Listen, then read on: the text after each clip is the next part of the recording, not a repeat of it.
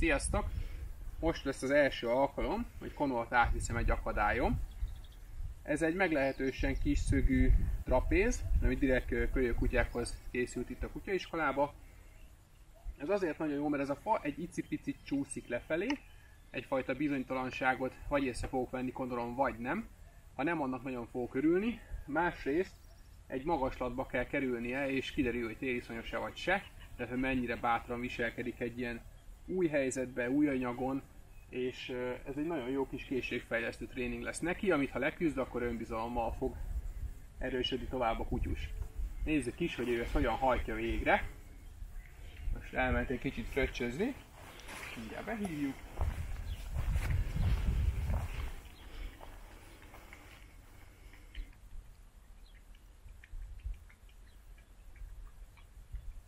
Megvárjuk, míg iszik.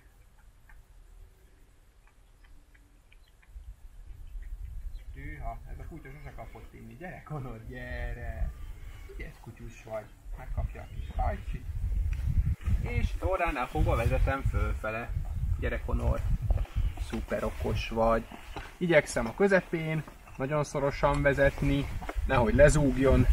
És most fönn van, kicsit meglepődök. Jó, okos kutya vagy, Konor. Gyere, Konor. Atyaz, gyere, semmi baj. Ez ott picit látszik, hogy csúszkálnak a kis lábai, kicsit fékez, de nagyon ügyesen veszi az akadályt. Ügyes vagy, Konor! Szuper! Na, megcsináljuk visszafele is. Gyere, Koni. Okos kutya vagy. És kicsit már messzebb vezetem, jobban észrevegye a környezetét, de nagyon szép, figyelmes kiskutya. És milyen boldogan futott már lefele csúszkálás nélkül. Nagyon elégedett vagyok vele, hogyha a környéketeken van kutyaiskola, vagy olyan kutyafutató, ahol van ilyen akadály, és tudjátok garantálni, hogy a kutyátok nem fog leesni a magasból, akkor ajánlom, mint gyakorlás. Egy jó kis móka mindkettőtöknek. Sziasztok!